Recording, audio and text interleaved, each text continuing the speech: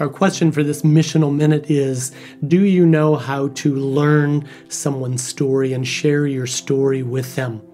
As we are um, spend, spending time with non-Christians and getting to know them in different different environments at work and school, in the neighborhood, at meals, parties. Um, it's important that we learn that we grow in our ability to ask good questions, be good listeners,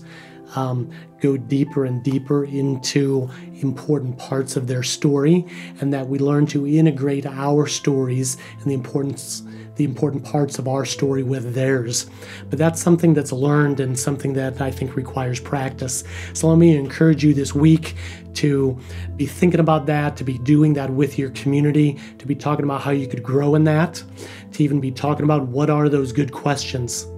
and how could we um, how could we ask deeper and deeper questions with the non-christian friends and relationships that we have